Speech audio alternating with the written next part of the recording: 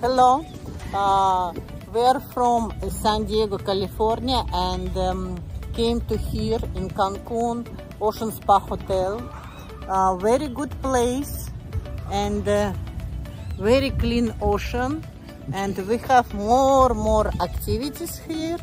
And we had beautiful day, uh, Valentine's Day yesterday. Thank you for our vacation. Thank you, Monster. Bye bye.